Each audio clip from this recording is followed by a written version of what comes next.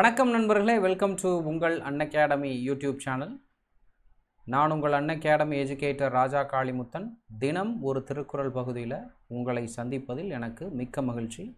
வாங்க நண்பர்களே இன்றைய திருக்குறளுக்கு சென்று விடுவோம். இன்று நாம் பார்க்க இருக்கக்கூடிய திருக்குறள் அறத்துப்பாலில் நடுவு நிலைமை இம்பார்ஷியாலிட்டி குறள் நம்பர் நூற்றி பதினேழு. கெடுவாக வையாது உலகம் நடுவாக நன்றிக்கண் தாங்கியான் தாழ்வு.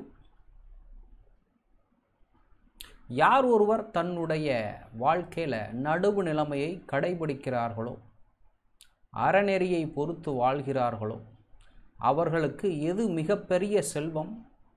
இந்த நடுவுநிலை காரணமாக வரக்கூடிய வறுமையே மிகப்பெரிய செல்வம் என திருவள்ளுவர் சொல்கிறார்.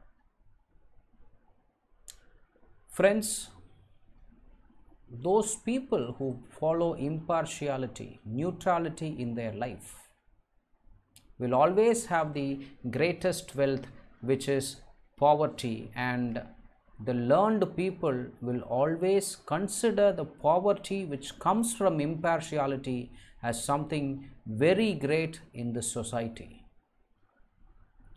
நண்பர்களே எங்களுடைய வகுப்பு உங்களுக்கு பிடிச்சிருக்கும் நம்புகிறேன் பிடிச்சிருந்தா லைக் பண்ணுங்கள் ஷேர் பண்ணுங்கள் மற்றும் சப்ஸ்கிரைப் பண்ணுங்கள் நீங்கள் மட்டும் பார்த்தா போதாது எங்களுடைய வீடியோஸை உங்கள் நண்பர்கள்கிட்டையும் அமுச்சு வைங்க.